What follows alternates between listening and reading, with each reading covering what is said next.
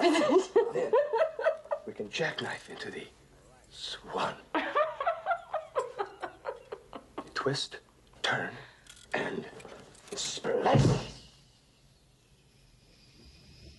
Honey, it's right to the Nautilus machine. Where is, honey?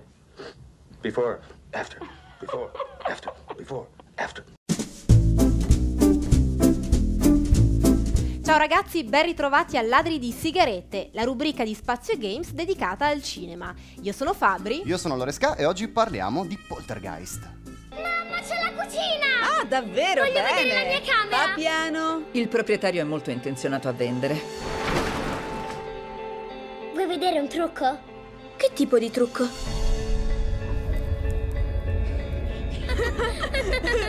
Mamma, ci piace! Sembra che le cose vadano un po' meglio. Sta arrivando una tempesta. Non fare il piagnucolone, Griffin.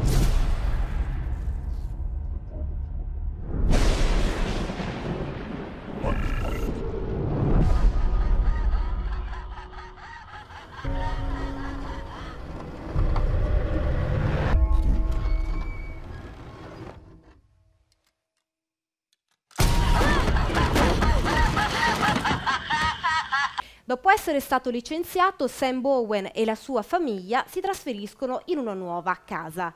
È lì che la piccola Madison farà la conoscenza di alcune oscure presenze. Diretto da Jill Keenan e prodotto da Sam Raimi, Poltergeist è il remake della pellicola originale del 1982, diretta da Toby Hooper e scritta da Steven Spielberg. Il film originale è diventato un vero e proprio cult del cinema horror degli anni Ottanta e viene ricordato con un certo brivido dai preadolescenti di allora. Anche il film del 2015 sembra rivolgersi allo stesso tipo di pubblico, quello preadolescenziale. Non è un film particolarmente spaventoso agli occhi di un adulto, ma è in grado di rievocare tutti quei temi che spaventano i ragazzini. Il buio, i morti, i fantasmi, i pagliacci, insomma, tutti quei tropi del cinema horror che fanno paura ai bambini e da questo punto di vista ci riesce perfettamente. Ovviamente il regista Jill Keenan ha cercato di ripensare tutto in chiave moderna. Vi è per esempio la tematica del licenziamento assente nel primo film che ci riporta in qualche modo con i piedi per terra in un periodo di crisi economica mondiale e poi naturalmente vi è una forte presenza della tecnologia che è diventata digitale, dall'analogico, dal tubo catodico della celebre scena del televisore del primo film si è passati a un televisore al plasma e alla forte presenza di telefonini, smartphone e tablet. Tra le tecnologie utilizzate ritroviamo sicuramente il drone, che viene utilizzato per esplorare il mondo dell'aldilà. Ma non solo, abbiamo rilevatori GPS, telecamere termiche, tutti strumenti che solitamente vengono utilizzati dai fantomatici cacciatori di fantasmi di qualche reality show. E a tal proposito, al posto del medium che ritrovavamo nel film del 1982, qui abbiamo anche il conduttore di un noto reality show proprio dedicato ai fantasmi. Il tema della tecnologia presente in tutto il film come nell'originale dell'82 è qui addirittura rimarcato dalla sequenza iniziale in cui il bambino Griffin gioca su di un tablet un videogioco sugli zombie, un videogioco inesistente. Forse non tutti sanno che l'originale del 1982 aveva avuto un suo videogioco, un tie-in per la console Color Computer, ma il gioco faceva piuttosto schifo. Se vi guardate i walkthrough su YouTube scoprirete che si può finire in meno di 3 minuti e sembra una brutta copia di Frogger.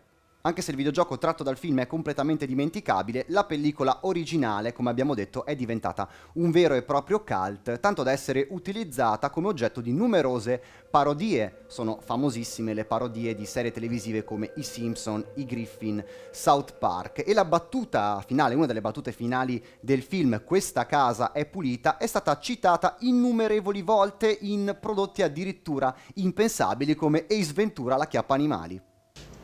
This house is clear.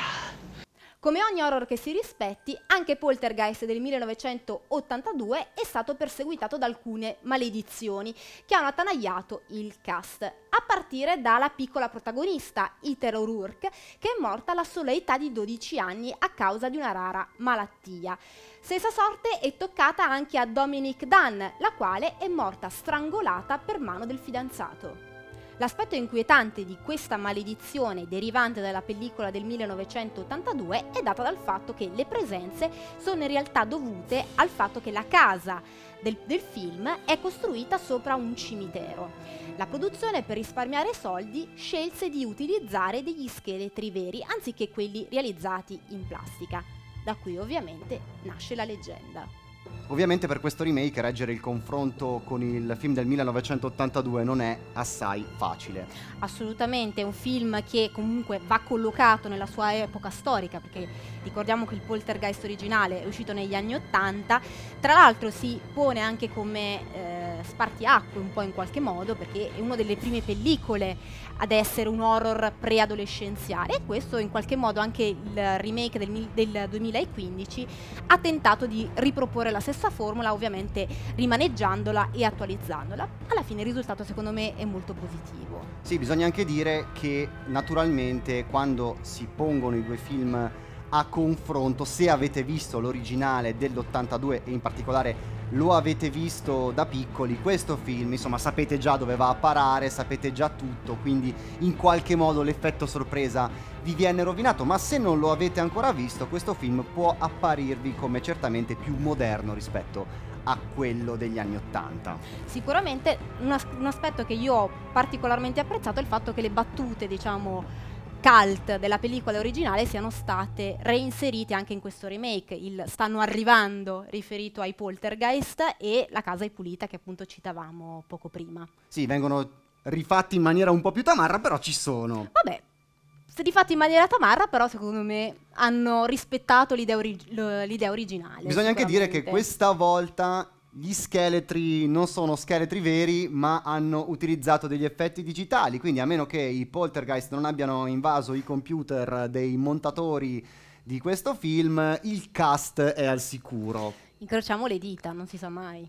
Beh, lo scopriremo magari fra qualche anno. Esatto, magari la, la povera Maddie, chi lo sa, ci lascerà anche lei. Sai che gli abbiamo appena tirato una cosa bruttissima. No, in realtà ragazzina. gli abbiamo allungato la vita, secondo me. Vabbè, lo scopriremo presto. Lo vedremo.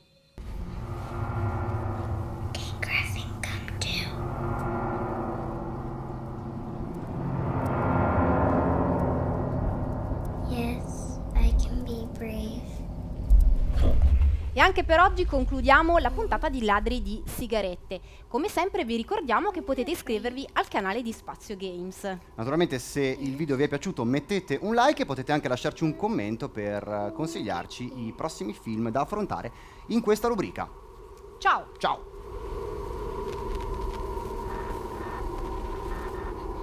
Maddie, what's going on? They're coming. Who is? Who is coming?